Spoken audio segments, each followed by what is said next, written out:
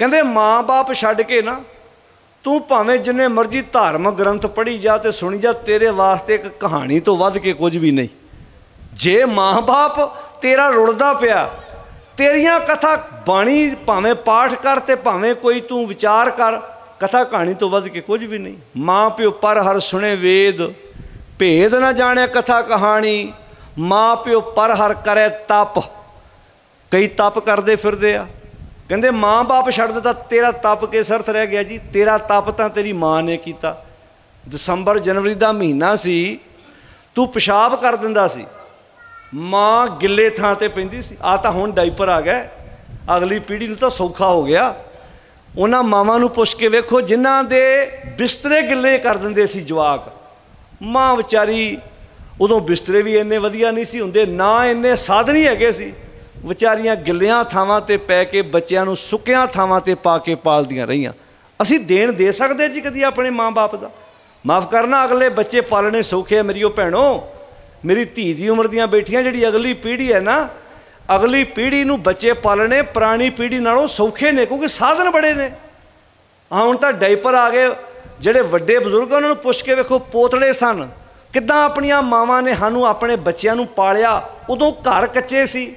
ਮੈਂ ਜਿਹੜੀ ਪਹਿਲਾਂ ਗੱਲ ਕਹੀ ਹੈ, ਉਦੋਂ ਘਰ ਕੱਚੇ ਸੀ, ਪੋਚਾ ਫੇਰ ਘੇਰਨਾ, ਮੀਂਹ ਪੈ ਜਾਣਾ, ਸਾਰਾ ਰੁੜ ਜਾਣਾ, ਫਿਰ ਕਹਿਣਾ ਕੋਈ ਗੱਲ ਨਹੀਂ, ਸਬਰ ਹੈ। ਕਹਿਣਾ ਕੱਲ ਨੂੰ ਫੇਰ ਫੇਰ ਲਾਂਗੇ। ਅੱਜ ਮੀਂਹ ਪੈਂਦਾ, ਘਰਾਂ 'ਚ ਪੱਥਰ ਲੱਗੇ ਆ, ਘਰਾਂ 'ਚ ਟੈਲਾਂ ਲੱਗੀਆਂ, ਵਿਹੜਾ ਪੱਕਾ ਵਾ, ਪਰ ਅੱਜ ਸਹਿਜ ਹੈ ਨਹੀਂ, ਸਬਰ ਹੈ ਨਹੀਂ, ਸੰਤੋਖ ਹੈ ਨਹੀਂ, ਪਰਿਵਾਰਾਂ 'ਚੋਂ ਚੀਜ਼ਾਂ ਗਵਾਚ ਗਈਆਂ ਕਿਉਂ? ਕਿਉਂਕਿ ਘਰਾਂ 'ਚ ਸਤਿਗੁਰ ਦੀ ਬਾਣੀ ਨਹੀਂ ਰਹਿਣ ਦਿੱਤੀ ਅਸੀਂ। ਇੱਕ ਮੈਂ ਬੇਨਤੀ ਕਰਾਂ ਸਵੇਰੇ ਕਿਤੇ ਵਖਸਰ ਉੱਠਣ ਦੀ ਆਦਤ ਪਾਓ ਗੁਰੂ ਕੇ ਪਿਆਰਿਓ। ਸਾਡੇ ਗੁਰੂ ਨੇ ਜਿਹੜੀ ਗੱਲ ਕਹੀ ਸੀ ਨਾ, ਸਵੇਰੇ ਵਖਸਰ ਉੱਠਣਾ, ਅੰਮ੍ਰਿਤ ਵੇਲੇ ਉੱਠਣਾ, ਇਹ ਗੱਲ ਸੱਚ ਹੈ। ਜਦੋਂ ਬੰਦਾ ਸਵੇਰੇ ਟਾਈਮ ਨਾਲ ਉੱਠਦਾ ਹੈ ਨਾ, ਅੱਧੀਆਂ ਬਿਮਾਰੀਆਂ ਤਾਂ ਸਵੇਰੇ ਤੜਕੇ ਉੱਠਣ ਨਾਲ ਹੀ ਬੰਦੇ ਦੀ ਜ਼ਿੰਦਗੀ ਚੋਂ ਦੂਰ ਹੋ ਜਾਂਦੀਆਂ ਨੇ। ਜਿਹੜੇ ਸਵੇਰੇ ਵਖਸਰ ਉੱਠਦੇ ਆ ਨਾ, ਇਹ ਸਾਡੇ ਗੁਰੂ ਨੇ ਐਵੇਂ ਨਹੀਂ ਸੀ ਆਖਿਆ। ਤੁਸੀਂ ਤਜਰਬਾ ਕਰਕੇ ਵੇਖੋ, ਅੱਜ ਬਹੁਤੀਆਂ ਬਿਮਾਰੀਆਂ ਬੰਦੇ ਨੂੰ ਰਾਤ ਲੇਟ ਸੌਣ ਨਾਲ ਤੇ ਸਵੇਰੇ ਲੇਟ ਉੱਠਣ ਨਾਲ। ਜਦੋਂ ਤੁਹਾਡਾ ਹਾਜਮਾ ਹੀ ਸਹੀ ਨਹੀਂ ਰਹਿਣਾ, ਤੁਹਾਡੇ ਅੰਦਰ ਬਾਦ ਹਜਮੀ ਰਹਿਣੀ ਹੈ, ਤੁਹਾਡਾ ਲੀਵਰ ਸਹੀ ਨਹੀਂ ਰਹਿਣਾ, ਜਦੋਂ ਪੁਰਾਣੇ ਲੋਕ, ਵਿਅਕਤੀ ਟਾਈਮ ਨਾਲ ਰਾਤ ਨੂੰ, ਚਲੋ ਜਿਹੜੇ ਬੰਦੇ ਨੇ ਕੋਈ ਜੌਬ ਇਦਾਂ ਦੀ ਕਰਨੀ ਹੈ, ਮਜਬੂਰੀ ਹੋ ਸਕਦੀ ਹੈ ਵੀ ਉਹ ਬੰਦਾ ਰਾਤ ਨੂੰ ਲੇਟ ਘਰ ਆਉਂਦਾ, ਉਹਦੀ ਮਜਬੂਰੀ ਹੈ।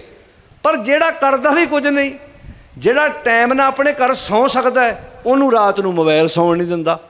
ਉਹਦੇ 'ਚ ਕੁਝ ਨਾ ਕੁਝ ਵੇਖੀ ਜਾਂਦਾ, ਰਾਤ ਨੂੰ ਲੇਟ ਸੌਣਾ, ਸਵੇਰੇ ਲੇਟ ਉੱਠਣਾ। ਫਿਰ ਸਵੇਰੇ ਡਾਕਟਰਾਂ ਕੋ ਤੁਰੇ ਫਿਰਨਾ ਜੀ, ਮੇਰਾ ਬੀਪੀ ਵੱਧਦਾ ਹੈ ਜੀ। ਮੇਰਾ ਜਿਹੜਾ ਹੈ ਬੀਪੀ ਕੰਟਰੋਲ 'ਚ ਨਹੀਂ ਰਹਿੰਦਾ ਜੀ। ਅੱਜ ਨੌਜਵਾਨਾਂ ਦੇ ਬੀਪੀ ਮੈਂ ਕਹਿੰਦਾ, ਮਾਤਾ ਕਪੂਰ ਕੌਰ ਦੀ ਇਸ ਜੀਵਨ ਸ਼ੈਲੀ ਤੋਂ ਮੇਰੀ ਉਹ ਭੈਣੋ, ਆਪਾਂ ਕੁਝ ਸਿੱਖ ਲਈਏ। ਕਿ ਪੁੱਛੋ ਕਿ ਮਾਤਾ ਜੀ ਜੇ 106 ਸਾਲ ਉਮਰ ਭੋਗ ਕੇ ਗਏ ਨੇ, ਇਹਦਾ ਮਤਲਬ ਕੀ ਸੀ ਉਹਨਾਂ ਦੀ? ਸਿਹਤ ਦਾ ਰਾਜ ਕਿ ਉਹ ਸਵੇਰੇ ਟਾਈਮ ਨਾਲ ਉੱਠਦੇ ਸੀ, ਤੰਦਰੁਸਤ ਸੀ ਆ ਜਿਹੜੀਆਂ ਆ ਬਾਹਰਲੀਆਂ ਦਵਾਈਆਂ ਨੇ ਇਹਨਾਂ ਤੋਂ ਪਰਹੇਜ਼ ਕਰਦੇ ਸੀ। ਅੱਜ ਬੰਦਾ ਮਾੜੀ ਜੀ ਪ੍ਰੋਬਲਮ ਆਵੇ ਤੇ ਗੋਲੀਆਂ ਲੱਭਦਾ ਫਿਰਦਾ ਇੱਕ ਡਾਕਟਰ ਕੋ ਦਵਾਈ ਖਾ ਰਿਹਾ ਹੁੰਦਾ ਤੇ ਦੂਜਾ 10 ਪਾ ਦਿੰਦਾ ਉਹਨੂੰ। ਕਹਿੰਦਾ, ਨਹੀਂ, ਉੱਤੇ ਚੱਲ। ਉਹ ਪਹਿਲੀ ਦਾ ਵੀ ਝੋਲਾ ਭਰੀ ਫਿਰਦਾ, ਤੀਜੇ ਡਾਕਟਰ ਕੋ ਫੇਰ ਚਲਾ ਜਾਂਦਾ ਉਹ ਭਾਈ ਗੁਰਦਾਸ ਜੀ ਨੇ ਕਿਹਾ ਵੀ ਮਾਨਸ ਰੋਗੀ ਹੋਏ ਕਿ ਫਿਰਦਾ, ਬਾਹਲੇ ਵੈਦ ਪਛੰਦਾ। ਜਦੋਂ ਬੰਦਾ ਰੋਗੀ ਜ਼ਿਆਦਾ ਹੋ ਜਾਏ ਨਾ, ਉਹ ਫਿਰ ਡਾਕਟਰ ਬਦਲਦਾ ਫਿਰਦਾ ਅੱਜ ਧਰਮ ਦੀ ਦੁਨੀਆ ਵਿੱਚ ਵੀ ਸਾਡੇ ਨਾਲ ਇੰਜ ਹੀ ਹੋਇਆ।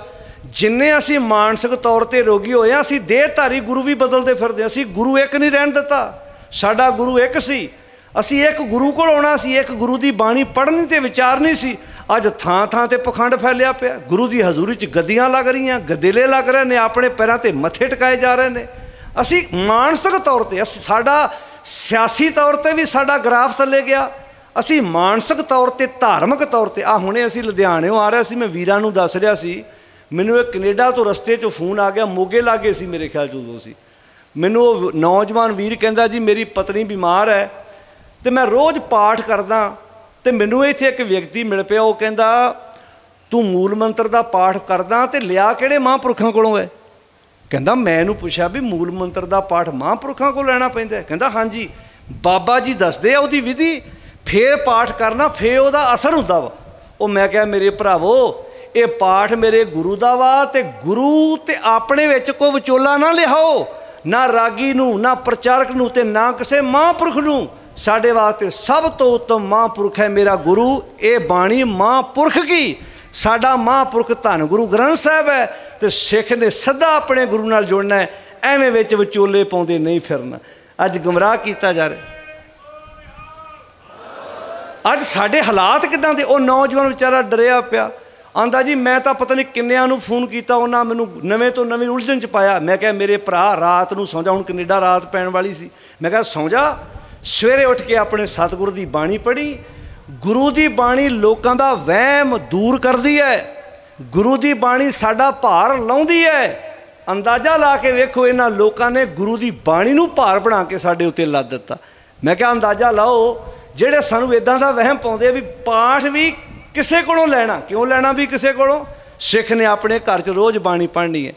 ਕਦੀ ਤੁਸੀਂ ਸ- ਪੁਰਾਣਾ ਸਮਾਂ ਵੇਖਿਆ ਹੋਣਾ, ਨਿਹੰਗ ਸਿੰਘਾਂ ਦੇ ਸੱਜੇ ਬੰਨਿਓ, ਖੱਬੇ ਬੰਨੇ ਸ੍ਰੀ ਸਾਹਿਬ ਕਿਰਪਾਨ ਹੁੰਦੀ ਸੀ ਤੇ ਖੱਬੇ ਬੰਨਿਓ, ਸੱਜੇ ਬੰਨੇ ਇੱਕ ਥੈਲਾ ਹੁੰਦਾ ਸੀ, ਉਹ ਚ ਬਾਣੀ ਦੀ ਪੋਥੀ ਹੁੰਦੀ ਸੀ। ਉਹ ਆਮ ਪਾਠ ਕਰਦੇ, ਜਿੱਥੇ ਟਾਈਮ ਲੱਗਣਾ, ਜਿੱਥੇ ਸਮਾਂ ਲੱਗਦਾ ਸੀ, ਸਫਰੀ ਸੁ- ਬੀੜਾਂ, ਸਫਰੀ ਸਰੂ ਮਹਾਰਾਜ ਦੇ ਕਈਆਂ ਨੇ ਵੇਖੇ ਹੋਣੇ ਨੇ, ਜਿੱਥੇ ਸਮਾਂ ਲੱਗਦਾ ਸੀ, ਉਹ ਬਾਣੀ ਪੜ੍ਹਦੇ ਸੀ। ਪੁਰਾਣਾ ਸਿੱਖ ਬਾਣੀ ਨਾਲ ਜੁੜਿਆ ਸੀ। ਅੱਜ ਬਾਣੀ ਸਾਡੇ ਘਰਾਂ ਚੋਂ ਦੂਰ ਹੋ ਗਈ ਹੌਲੀ ਹੌਲੀ ਸਹਿਜ ਪਾਠ ਸਾਡੇ ਘਰਾਂ ਚੋਂ ਗਵਾਚ ਗਿਆ।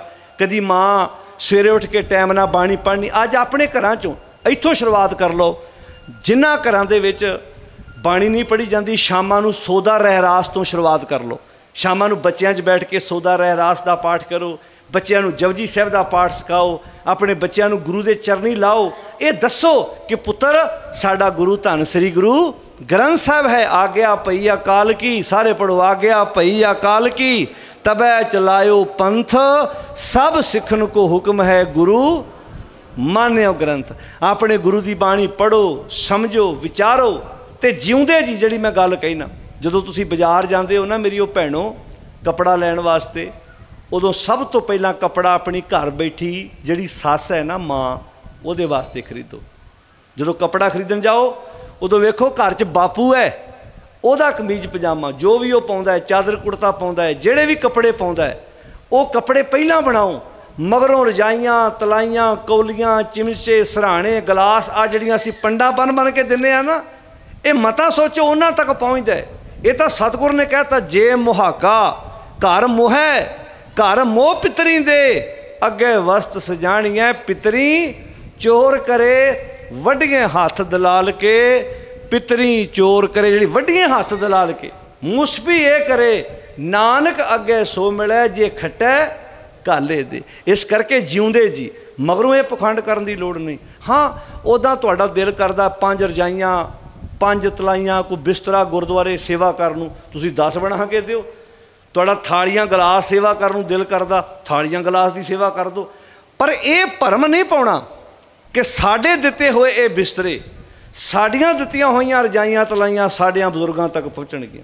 ਇਸ ਭਰਮ ਚੋਂ ਸਤਿਗੁਰ ਨੇ ਦੂਰ ਕੀਤਾ ਸੀ।